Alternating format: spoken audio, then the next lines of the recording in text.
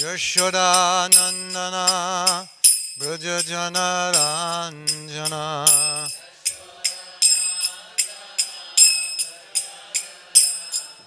यशोधानन्दना व्रजजनराञ्जना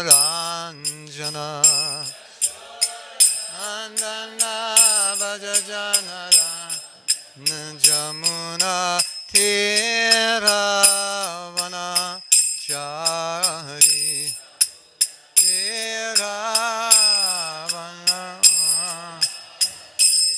Jamuna Tirabana Chari Tirabana Chari Jaya Radha Madhava. Kunja Bihar.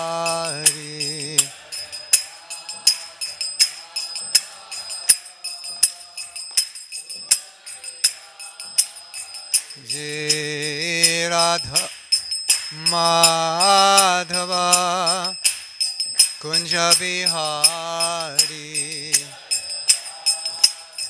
Madhava Kunj Bihar. हे गोपी जना बलवा Girivardhari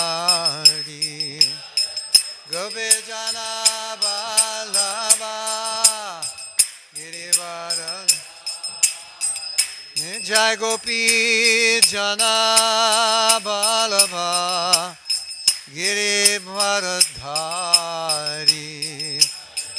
Vijana Balabha Giri Bharada Jashodhanandana Braja Jana Ranjana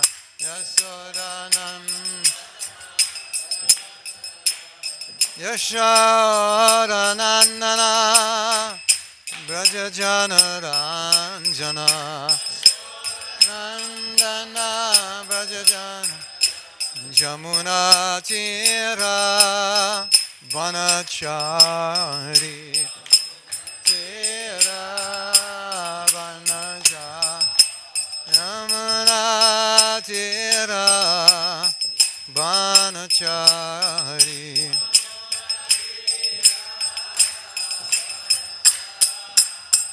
Hare Radha Madhava Kunja Bihari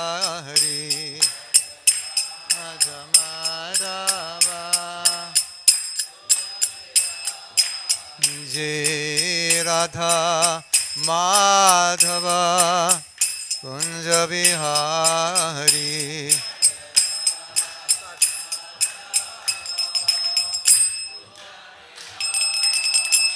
Shri Radha Madhava की जय। ग्रंथराज श्रीमद् भागवतम की जय। ताई गो प्रेमानंदी हरे। नमो विष्णु पदाय कृष्ण पृष्ठाय भूतले श्रीमती भक्ति वेदांत स्वामिनी थी नमने, नमस्ते सरस्वती देवे, गौरवाणी प्रचारिणे निर्विशेष शून्यवादी पश्चाचिर सथरिणे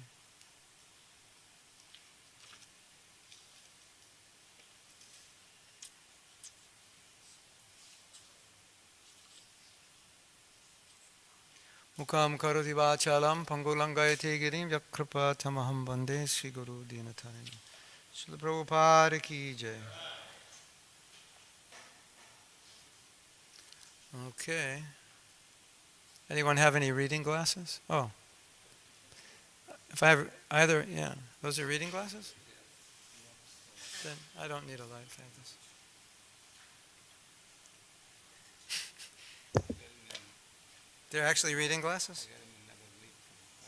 Oh, yeah, right. Yeah, they should work. I think they're dirty. Let me see.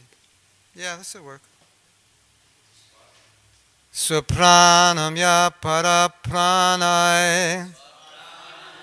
param prapushnat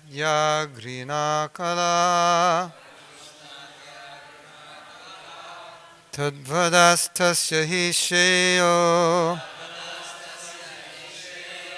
यद्दोषाद्यत्तदा पुमान् स प्राणं या परप्राणाय। प्रापुष्णाद्यघ्रिणाकला तद्भरस्थस्य हि श्रेयो। यद्दोषद्यत्यदा पुमा स्वाप्राणं या पराप्राणाय। प्रापृष्णाद्यघ्रीणाकुला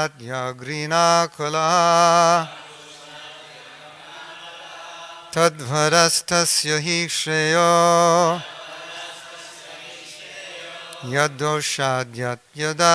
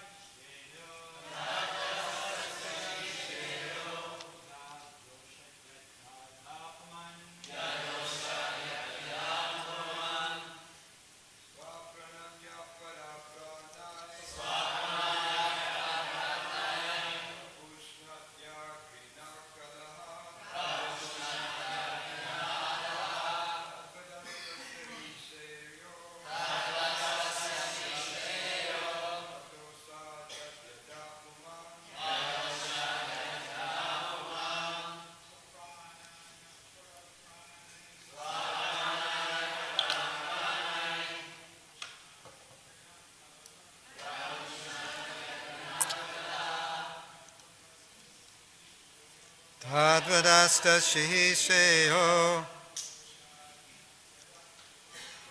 Yadoshad yatyada puman Tadvadastasya seyo Dosha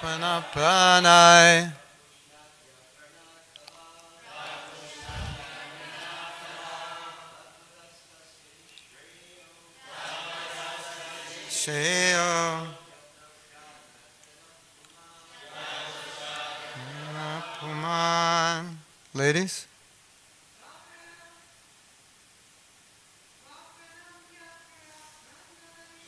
Pranam yat panapranay.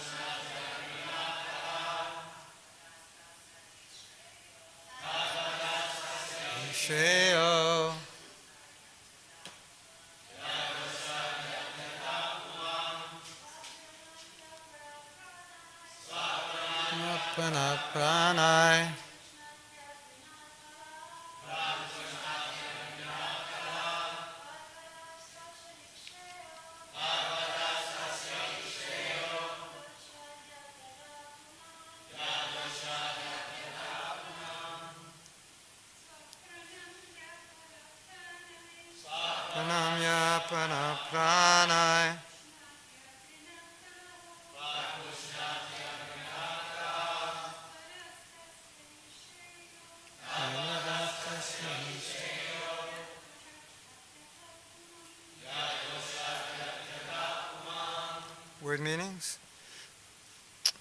Swaprana. One's own life. Jaha. One who. Parapranoi. At the cost of others' lives. Prapushnati. Maintains properly. Agranaha. Shameless. Kalaha. Wretched. Tat Vadaha, killing of him. Tasya, his. He, certainly. Sheha, well being. Yat, by which. Doshat, by the fault. Gyati, goes. Adaha, downwards. Puma, a person.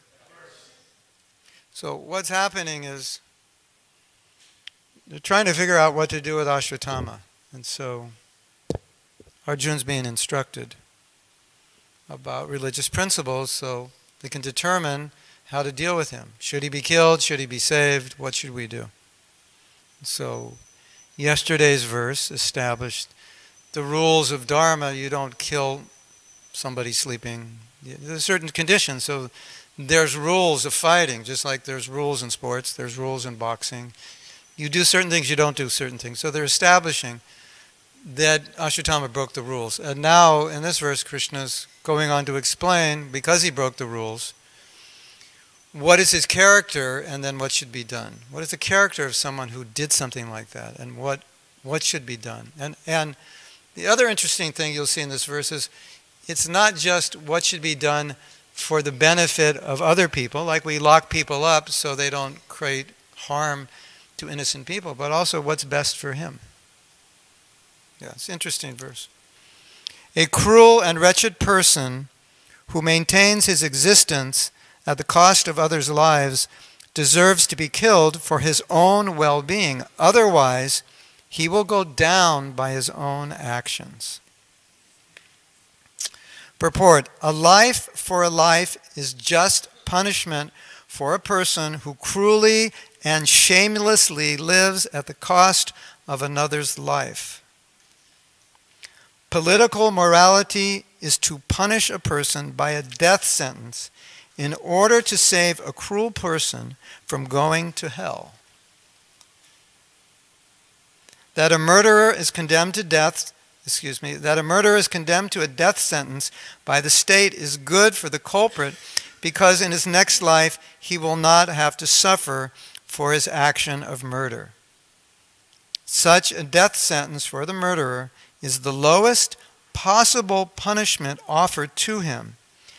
And it is said in the Smriti Shastras that men who are punished by the king on the principle of a life for a life are purified of all their sins, so much so that they may be eligible for being promoted to the planets of heaven. According to Manu, the great author of civic codes and religious principles, even the killer of an animal is to be considered a murderer because animal food is never meant for the civilized man whose prime duty is to prepare himself for going back to Godhead. He says that in the act of killing an animal, there is a regular conspiracy by the party of sinners, and all of them are liable to be punished as murderers, exactly like a party of conspirators who kill a human being combinedly. He who gives permission, he who kills the animal, he who sells the slaughtered animal, he who cooks the animal, he who administers distribution of the foodstuffs, and at last, he who eats such cooked animal food are all murderers, and all of them are liable to be punished by the laws of nature. The question is, why is that in italics? Does anybody know? Druta Karma, you know?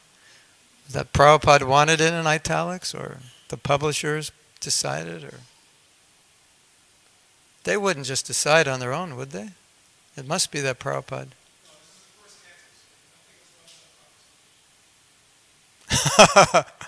so we don't know.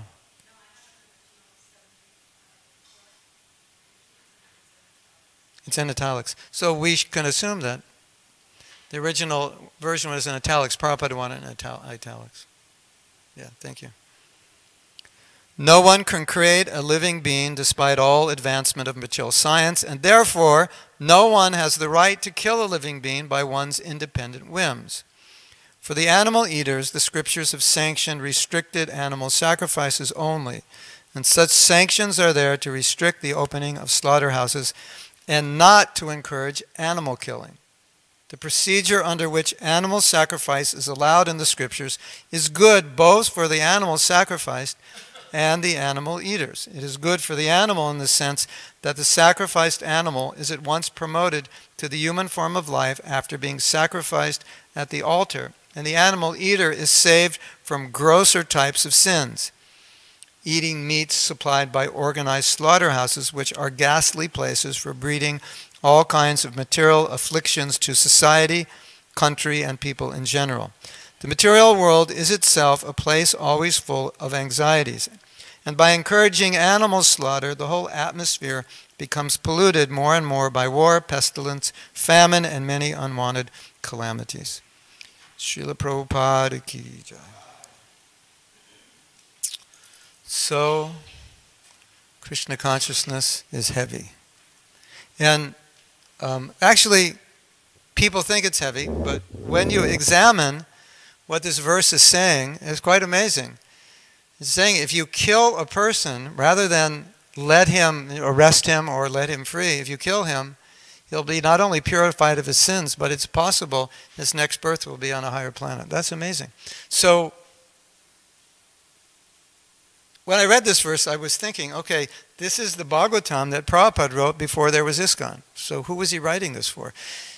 If he wrote it after ISKCON, you could, you could say, well, maybe he was writing it for us with the idea we would be leaders in the future, and this is, these are laws of Manu which we're going to need to know because we may be making judgments at a time in the future when we have some power somewhere.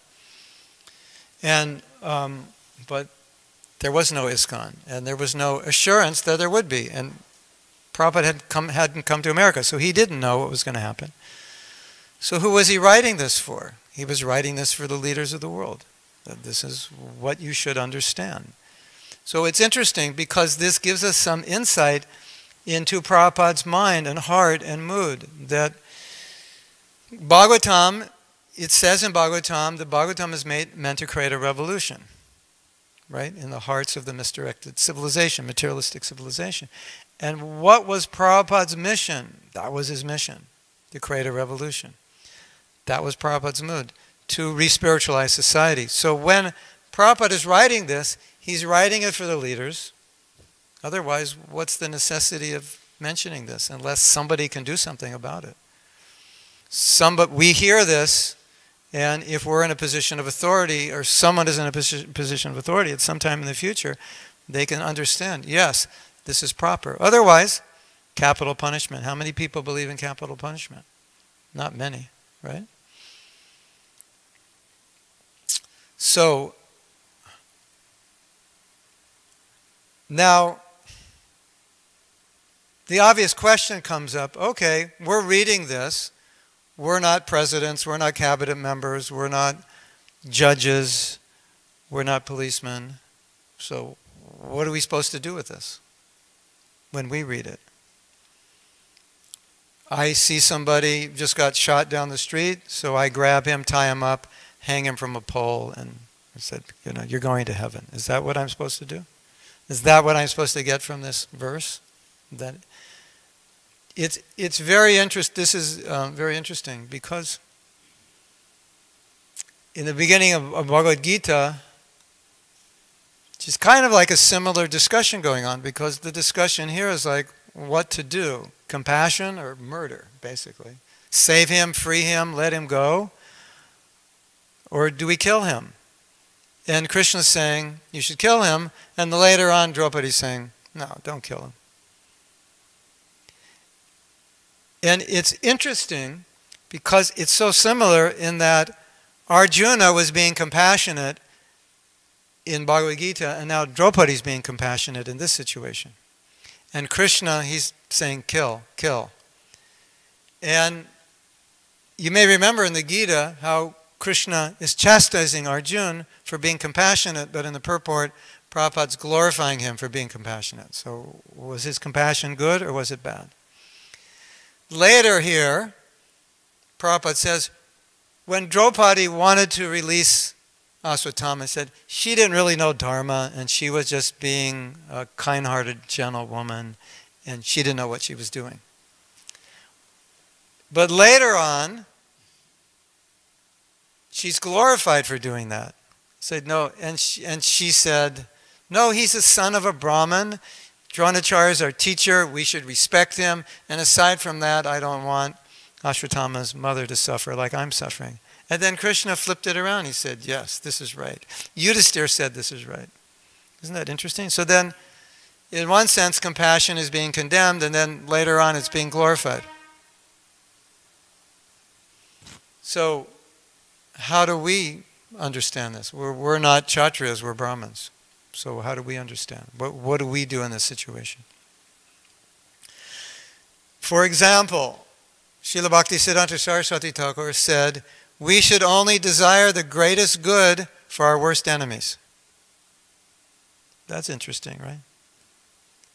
If you, when you joined the Bhakti program, had to sign a contract to agree if you're going to live here to only do good for your worst enemy, would you sign it? You'd probably have to go home and think about it, right? I don't know if I can do that. I don't know if I want to do that. I don't even know if that's possible. So that's a Vaishnava. So we have these two things going on. But one of the things that is so nice in this verse, the word Shreya is said, Tad Vadas Shreya. Is it uh, Tad Vadas? Yeah. Tadvadas tasya shreya. Tadvadas means kill him, and shreya means for his benefit. You're killing this for him. You're killing him for his benefit. Otherwise, he's going to go down. So you're actually, you're actually compassionately killing him. When I read this, the first thing that came to my mind was Sharia law and the uh, infatuation the world has with how bad that is. And I had a problem with it. I, I couldn't understand Islam. You know, what is going on? Is this actually what Islam is all about? So, Amogha Lila was in Las Vegas. Amogha Lila is a religion professor. I said, Amogha Lila, what's the you know underlying reality? Is it a religion of peace or is it a, a religion of jihad? And he said that I said, and what about Sharia law? Because Manu Samhita and Sharia law are very similar. And he said, there are many stories in which Muhammad never enforced the law, even though people broke it. He said Muhammad was very compassionate. And um, he said, he told a story. He said one person had, I don't know, had stolen or killed or committed, had done some sin, and he turned himself into Muhammad. And Muhammad didn't want to punish him. And the man was drunk when he did it. And Muhammad said, Well, in the scripture it says if you're drunk, you're not liable. Yeah. But the point was, he was merciful. It, he said, you know, it's, it's become misinterpreted. But he said, generally, those laws were there to explain to people this is what proper behavior is. And if you do this, you, these are the punishments. So, you know, it makes the point, doesn't it? If the law is your hands are going to be cut off if you steal, that makes the point, doesn't it? You're going to be beaten if you commit adultery. It makes the point that that's bad, right? Doesn't it? Uh, I had some devotees uh, spend some time in Saudi Arabia and they said, nobody locks their doors, nobody locks their car. I said, why? I said, because if you're caught, your hands are cut off. So it kind of solves, you know, adultery. There is, it doesn't exist they have to leave Saudi Arabia. They, they do it. They go to other places to do it. But in Saudi Arabia, they want to do it, but the consequences are so great, they won't do it. So Mogalila was saying those laws are there to restrict it. It definitely makes a point, doesn't it? If your hands are going to be cut off, if you're going to be killed or beaten for committing a certain sin, it definitely conveys that's a pretty serious sin, isn't it? In our society, oh, what's the problem? You know, you, you guys were in love, so what? You know, isn't it? But he was saying, Muhammad himself, he, he didn't push those things. He was very merciful, he was very kind. So we see as this chapter goes that Draupadi's view, it won. And Yudhisthira accepted it. She said, look at, we don't want to cause suffering to Ashwatthama's mother. I don't want her to suffer like I'm suffering. And even though Dronacharya's son is not really a Brahmin, but we have to accept him because we respect Dronacharya. Yudhisthira agreed. Then Krishna changed his mind. He said yes. And then Arjun had to figure out what to do. And this is the way philosophy works. You have to take everything into consideration, and then you have to figure out what to do. Here are the principles. Now, what do we do? So Arjun figured he would kill him, he would embarrass him, he would destroy his life without killing him by defaming him, robbing him of his prestige, embarrassing him to the world. So basically, he was finished. He didn't have a life, but he still lived. So he fulfilled uh, Draupadi's desire. And in a sense, he fulfilled the desire originally of Krishna to kill him.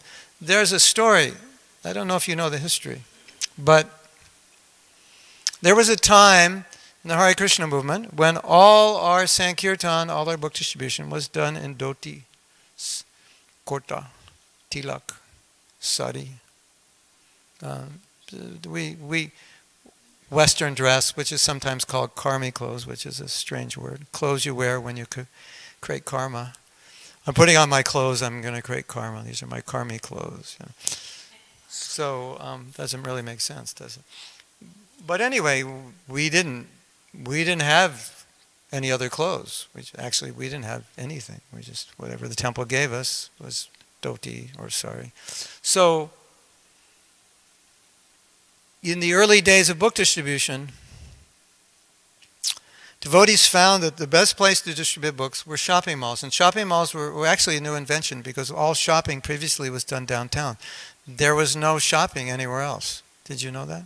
It's like downtown. Downtown was in America. That's where all the stores were. There were no shopping malls. There's a few department stores here and there, but basically downtown was the shopping area in every city in America. And then malls started coming up in the suburbs, and devotees found that these malls were um, amazing places for book distribution. And the malls at that time were actually legal because they were public places, and the law said you could go there and distribute books because it's open to the public. So up until like 1972 or so, we could actually go there. And they didn't want us there, but they couldn't do anything. They said, well, you're open to the public, freedom of speech in a public place. So anyway, they fought it, the laws changed, it became illegal. But because we had been used to distributing books there and found it to be the best place, we would go there anyway. But if you're wearing a bright orange dhoti and a shaved head, you kind of stand out. And in those days, the, the ladies had saris and long braids, so they kind of stood out. So the devotees in San Diego, they were traveling, and they thought, well, why don't we just wear Western dress and wigs, and then we won't stand out? It wasn't a thought that this would be good for book distribution. It was, I mean, that people would like it. It was just a thought that if we do this, they won't see us. And it worked because you're looking down down the corridor of the mall, you don't see saffron, you just see people. And they discovered one thing they discovered, and it was an accident. I don't know if you know this story. This, I was in San Diego, so I heard it from the Sankirtan devotees who did it. They said, We had no idea how easy it was going to be to stop people because we were dressed in regular clothes and they just said, excuse me, and they would just stop. Where in a dhoti and a sari, sometimes you say, excuse me, and they run to the other side of the street, right? I don't know about today, but in those days, you know, like, okay, I know you're, you're going to want to talk to me about God. I'm not interested. So they were distributing more books because people would stop and it was more, people were more comfortable with it. So then it came to Prabhupada. This is the message that Prabhupada got because we were wearing wigs. So the, the message that Prabhupada got was not what was happening. He got the message that the devotees are becoming hippies. They're wearing wigs, they're wearing Western dress. This is really bad. So Prabhupada said, no, it shouldn't be done. But the Sankirtan devotees they were increasing book distributions. So there's this com this conversation was going on. Should, shouldn't it? And so the head of the BBT here, he said something to Prabhupada. And he said the right thing. He said, Prabhupada, we don't mind wearing dhoti and sari. That's not a problem for us. He said, number two, they're wearing, they're not dressing like hippies in t-shirts and jeans and long hair wigs. He said, no, they're dressing like respectable ladies and gentlemen. And they're not doing it because they want to, they're doing it because it distributes books. But if you don't want us to do it, that's fine. And he said, but if we don't, book distribution, I project it will decrease 50%. So what do you think Prabhupada said? He said, do it. So how do you understand Dharma? How do you, you, you take everything into consideration and you have to see what is the principle, what is the best thing to do. Now, I have another interesting experience. I actually didn't like wearing Western dress. I thought it's a compromise, we don't have to. We could wear dhoti, sari. And so myself and a group of devotees in San Diego, we revolted against it. We said, this is a compromise, this is bogus. Um, we're watering things down, and we should just go out as we are in dhoti and sari. And we'll do just as well. So in 1973, I believe it was, or 74, during the Christmas marathon, there were four or five of us. We said, we're going to prove this to be true. We're going to go out in dhoti sari, kurta, tilak, the whole thing, and we're going to distribute books, and we're going to prove that we will do as good as the devotees in Western dress. And we did, and we proved it. And we were so proud that we wrote to Prabhupada to tell him what we did. And Prabhupada is amazing. Prabhupada knows the mood and mentality of his disciples. And he wrote us back an amazing letter. He said, Whatever you feel comfortable wearing, that you wear. He didn't say, Congratulations, you broke this illusion of Western dress on book distribution. He said, If you feel more comfortable in dhoti sari, then you wear dhoti sari. Of course, we were, you know, we were thinking we were going to be the saviors of the, saving ISKCON from Western dress. And Prabhupada didn't buy it. He just said, yeah, whatever, whatever works. So, um, that's going on here in this verse. That there's so many things are going on that you have to analyze. Okay, what is what is proper behavior? But particularly for us, we are not kshatriyas, we're Brahmins. So what is what is our general mood? Our general mood is compassion. There's a story that this uh, devotee joined in India was a thief. As far, as far, as I know, he's a thief. Or, and uh, it was known he was a thief. And it was also found out that he was a thief because he was caught stealing something. So he was brought to Prabhupada. And Prabhupada said, We will forgive you. But if you do it again, we will have you arrested. We will have you arrested. So both things are going on. Vaishnava is compassionate, but there's also dharma, right? So guess what happened? Who knows the story? He got caught again, and Prabhupada had him arrested, as he said. So, you know, both things go on. In, uh,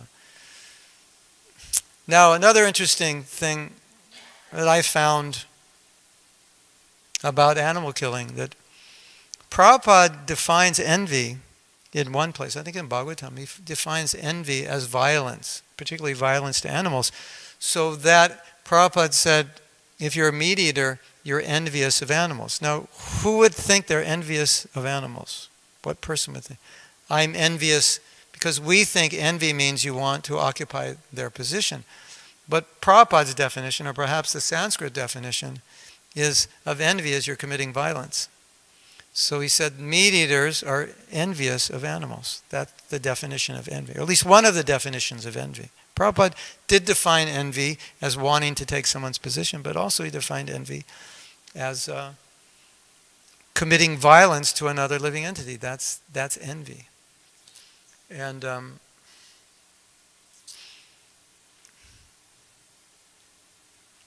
one of the things that I find so interesting about the last statement of Prabhupada, and I'm sure you've all thought of this, is that in the world of politics, they come up with so many solutions that don't take into consideration the consequences of the sinful activities of the people.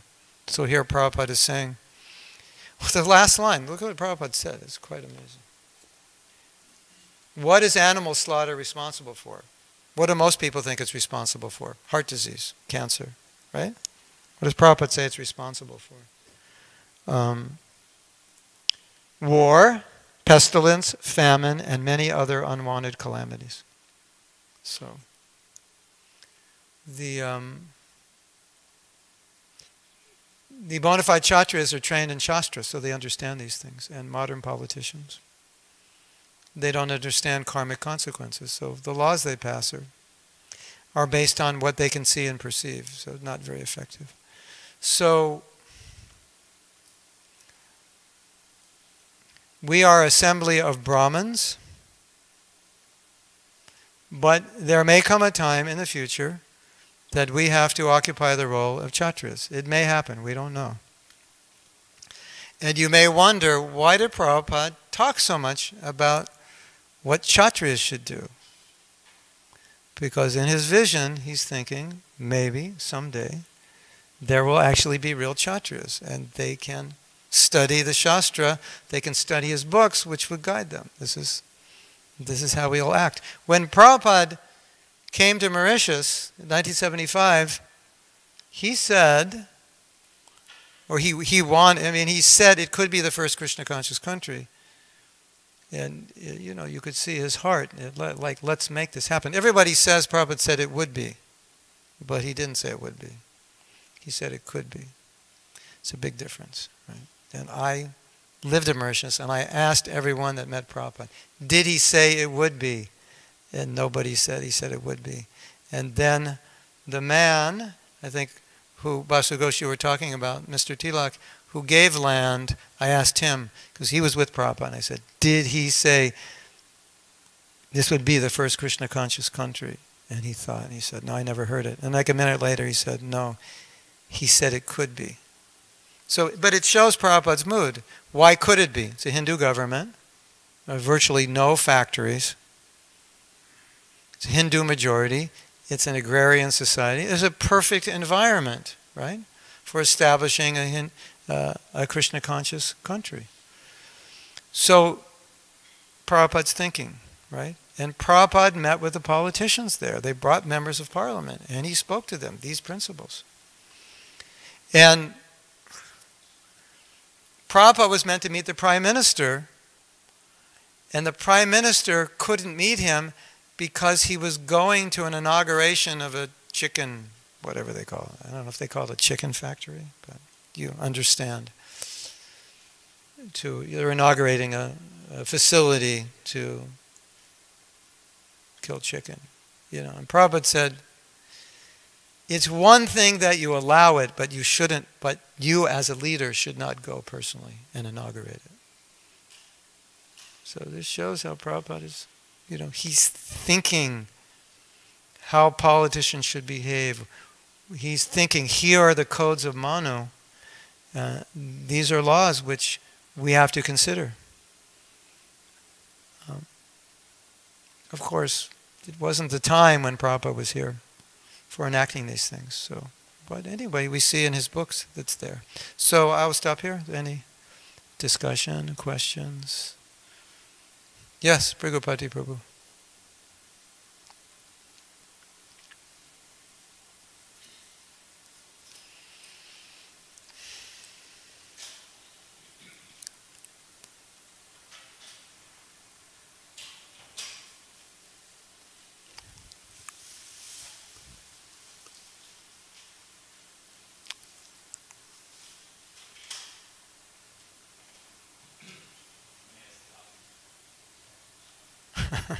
Should we establish Sharia law and should we establish Manu Samhita? And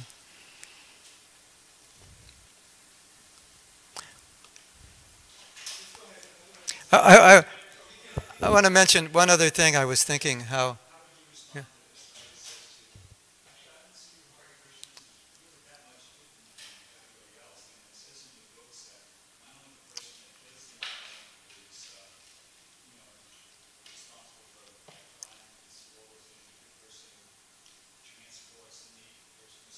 Yes. So they're all accomplices to the crime. Okay. So in the same way, uh, you know, all these people, somebody purchases the meat and uses it, Yeah. they're an accomplice to the crime of killing Yeah. the animal, right? According to the Manu Samhita. So in the same way, you folks purchase dairy products, which you know are coming from animals that are just a hop, skip, and a jump away from, Right. you know, going to the slaughterhouse as soon Yeah. as they're dry and then no, no longer use, you know, useful for producing dairy products. So in that way, you're no different. You're just an, you're an accomplice to the crime. No different than the person who's buying the meat or selling the meat or something like that. Right. What, would- what would your response be? What would I say? Yeah, what would your response be? This is a person who's not, you know, just What would I say an to the- person, To the devotees person, or to this person? Um, Okay. Well, as you like.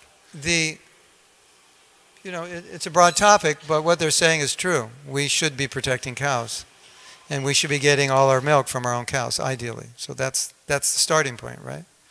If we if we can get milk from protected cows, ideally, if we have our own cows. Do you know that Bhakti True Swami has just bought a property, um, a huge property, and his plan is to is to protect cows, to get all the cows that ISKCON can't maintain and as much money as there to buy cows that are on their way to be slaughtered. Did you know that? Yeah, he just bought some land in Florida. And so there's that's the first phase of their project, protect cows. Then there'll be temple, there'll be you know, retreat center and so on. So I think, you know, I think one of the things we've always done when we preached was always preach like we're perfect and you're all wrong. And not looked at our own mistakes. So I think that's a starting point, at least for us. And sometimes, if you, if you, you know, establish the standard and admit your failure and that we're trying, people will appreciate that because they see that you have integrity. Now, there's another side to it, which you may know. And I'm not saying to validate this, I'm just saying Prabhupada said it, so we have to consider it in this temple, when I was here, it must have been 1972, we were getting a lot of milk. In those days, you may remember, milk was vitamin D enhanced, right? That was, as far as I know, fish oil. And they told Prabhupada, and he said, everything in Kali Yuga is contaminated. So, in a, and I've heard other conversations in which, you know, they were talking about purity, and Prabhupada said in Kali Yuga, even the pure is impure. But we never had those discussions with Prabhupada. But obviously, in our books, cow protection is there. Prabhupada wanted us to establish farms, goshalas, and so forth. So I think for us, as leaders, as managers, that's the ideal standard we should try for, right? And it's a tough question because people are not going to understand it on that level. Of course, the other answer is the cow's benefit because you know that's the other side. But even I've discussed this question with devotees who protect cows and they don't all buy into that idea. Believe it or not, there are some devotees who protect cows that are vegan outside of their own cows because they have such a close relationship with cows. They, they, I said, "Why are you vegan?" They said, "Because I can't take that milk because I feel that I'm participating in it." So it's an interesting discussion because I've heard both sides from people who take care of cows. Um, I find personally in my preaching that if we're honest, and we're saying, "Yeah, this is what we're working towards," in our worship, in our in our practices, we utilize milk products. They're an integral part. Uh, but cow protection is also an integral part, so we're, we are working towards that. And for the vegans, also, you can tell them more important than the milk is the cow dung. That's the most valuable thing the cow gives. So even if you want to be vegan, at least cow dung. It's very important. I don't know. You know, it's hard dealing with vegans. It's, you know. But I think at least we have to be aware that we have to. But like Prabhupada said, when he established Gita Nagari, he said, at least there should be a place where we live what we teach. So, you know, we could also say, well, we have farms and there we can actually do it. And we're, we want to expand. That's our principle. But we have this principle that we require milk products in our worship. And so we, we as far as possible, we'll, we'll try to get it from cows that are protected. You can get milk from Gita Nagari and other places. And Okay. it's not, you know, it's not, we know it's not ideal. And I don't think it's wrong to tell them that we know it's not ideal, but we're obliged for the worship we do to use this milk. And, and we regret it, but it's, you know. Yeah, I don't know. What would you say? Yeah, that, that's a very good answer. Thank you. I'm, I'm, I'm satisfied with your answer. There's um, there's there's um, I have a very interesting experience. One of my godbrothers had some difficulty, and he publicly admitted it, and he was a spiritual master. And one of the most interesting things happened. I thought, wait till the Ritviks get a hold of this. They're going to have a heyday. And you know what the Ritviks said? They said, well, it's another one. He said, but at least he was honest. And that's all they said. They didn't say anything else. They didn't go off on a big rant and rave. They said they said they glorified him for being honest. So people appreciate that if you're honest, isn't it? And uh, yes, we've made mistakes. We're trying. We we've done things wrong in the past. We realize that. What you say has a lot of merit. I I appreciate it. We are accomplices, and we're we want to move forward as best we can. It's the same conversation that's going on in here in the Bhagavatam. What's the principle? What's the higher principle? What's the compromise? What do you do? So, you know, we can't really stop using milk. But you know, the other problem is that milk may not really be milk. That's another issue. You know, that milk you get, it's like the Western people, Western naturopaths, they say milk is bad. But that milk is not milk. It's, these cows are eating poison. They're not purebred Deshi cows. So that substance, it causes all kinds of diseases. I, someone sent me a list of like 40 diseases caused by milk. But you read Ayurveda, uh, the, it cures all those 40 diseases. So, because it's not the same thing. It's like the wheat we eat is not wheat. It's not the wheat that people used to eat. And wheat causes so many problems. So that's another issue, you know. That's, you know, I'll just throw that out there. You can go Google it. And, um, but if you're trying to figure out how it is that Western medicine says milk is bad for you, because that, what we call milk, is not really the milk that the Ayurveda is talking about. We say milk is good. It is good. It cures. Milk is one of the seven nectars in Ayurveda. But that milk is different than the milk we're getting. I can't digest this milk here. I go to India, it's no problem. Yes, Sachitanoi.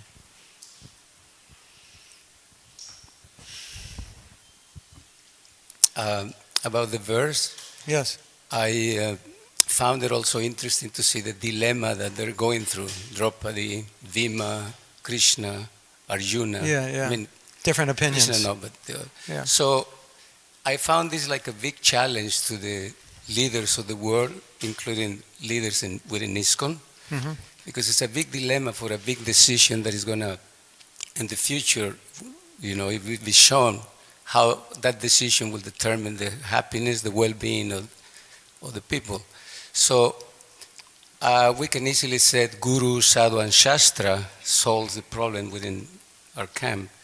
Now, the question will be is that how much purity do they have? Because we're still struggling Yeah. to be Krishna conscious and to be Yeah. pure. It requires to be highly, like 100% pure to make the right decision. Mm-hmm. Yes. Now, in that particular case, Krishna was physically present, yes. and uh, it appears that Krishna inspired Yes. Arjuna to do that. Yes. So, would you like to comment a little bit more? Well, Hari Sauri told the story when Prabhupada was talking about management. He, he, he said Prabhupada quoted something in Shastra. I don't have the reference. He said that in Kali Yuga, decisions should be made in groups because if individuals make it, they may make the wrong decision.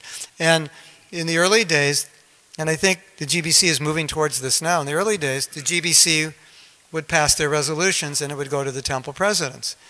And sometimes the temple presidents wouldn't approve, and it would go back, and they'd say, These are our comments.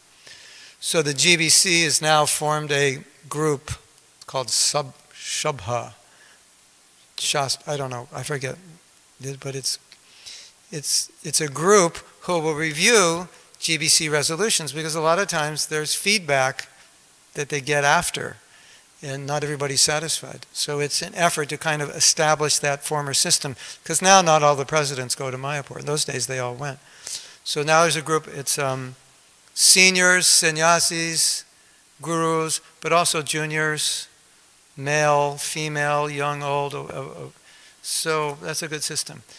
Um, a lot of times, what I find, especially if you're married, you find this that you think a certain way as a man or a woman, and then you throw that to your wife, and you get a completely different point of view that you never thought of, isn't it?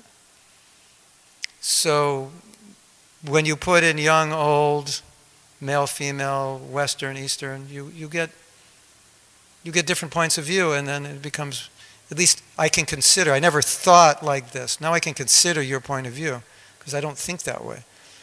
So I think that's necessary. And you know, the problem is ISKCON's an international movement, and things are different in different countries. And so you also have to adjust to the country. What's acceptable here may not be acceptable in India. And that's why you you need everyone together to help you say no. We, you know, we as Americans say let's do this in India, and the Indians go, you can't do that here. The people will kill you. And the Indians come here and say do this, and you go, you can't do that here. The people will kill you, isn't it? So that's why we need we need groups to make decisions. And um, we had one we had one group. We were preaching to teenagers in 1993, 1992. We were preaching to teenagers in Washington D.C. and young young adults, maybe like up to 21, 22. And we were all in our 40s at that time, and all the devotees we that that were the leading preachers that met the people were all 17, 18, 19. And they were right on that wavelength. We didn't understand how to preach to them. And we, we wrote pamphlets and little booklets, and it was all written by them. It was extremely effective. So we realized we needed to understand the mentality of the youth from the youth. So, you know, I think that's the value of groups. You know, we old people, we have ideas. Some of them are really good, and some of them are outmoded. They don't relate to, to people. Society changes. Yes? Yeah. Somebody. Amala Bhakta Maharaj.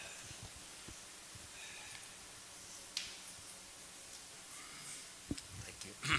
Thank you, Mahatma Prabhuji. Uh, I just wanted to make certain that we were not uh, ignoring something extremely important, and that is, although Draupadi did not, sorry, did not want to see Ashwatthama killed, and Arjun himself uh, pretty much complied with her wishes, understanding how her heart was hurt uh, for the reasons you've given. But and Krishna had told him that don't spare him, kill him. So ultimately, although Arjun uh, spared him, Krishna did not. What Krishna did is that he cursed him, and he gave him a very heavy curse. He said that you will wander for 3,000 years in the moors, in the swamps. You will have no companionship whatsoever. Hmm. You will be bitten by insects and mosqui- mosquitoes and all sorts of things like that. Therefore, for those 3,000 years, you will wish every moment that you were dead. So, Worse Ah. than death. huh? Worse than death. Mahabharata, yeah. Yes. Yeah, I read with my own eyes. Good point. Yes. Yeah. So, um, uh, so, so therefore, uh, for the 3,000 years, you know, after that point in time, then uh, Ashwatthama, at that point, uh, the curse ended in 3,000 years, and I don't know whether he died at that time. Some people have said he's still living. Uh, nonetheless, it was a living death, and uh, it was not something that was desirable. And Krishna felt that uh, no matter what Draupadi thinks, no matter what Arjun thinks, this is what I think in this, and that he's going to get his karmic reaction, and this is it. So the point is this: is that Krishna, uh, as as you mentioned, uh, initially he said you should kill him. Okay, he didn't kill him. Draupadi should kill him, but Bhima said no, he should kill. kill. So no, I'll kill him in, in Yeah. the sense that uh, he will wish he was never alive, and uh, uh, he will wish that he will never come back. Uh, I mean, think about it 3,000 years, no companionship, nobody to talk to. You can't even talk to a dog. I mean, there's nothing there. And you're walking through the swamps and through the jungles and through the snakes, and you can't even die if you want to die. So, um, therefore, uh, we need to, not that we should necessarily try to be Krishna, but we have to understand that there is a thing called karmic reaction, and Krishna was illustrating that by the curse. He didn't have to curse him. He Yeah. could have followed Draupadi and so forth. But no, he felt that don't play around. Don't do the things that he did. You'll also be, you'll get Yeah. your curse. You know, I was thinking also, but he did fulfill Draupadi's wish. So he, Yeah, uh, you feel Draupadi's wish that, that Ashwatthama's mother wouldn't suffer the loss. So that was, so he did both things. He, you know, he, he, it's like when Prabhupada said, all the women should get married. This is in the Chaitanya Charitamrita. It's written there. It's not just a letter. All the women should get married and all the men Yeah. should be single.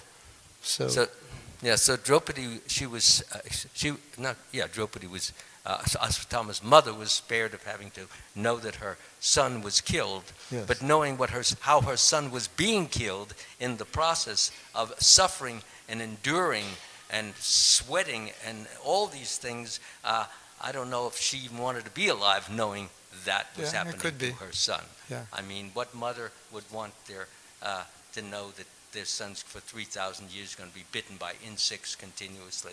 I don't know, it's better to get killed. Perhaps, yeah. Per- Yes. Next Ashwatthama will be Vyasadeva. I'm pretty sure I've heard that. Anybody can verify that?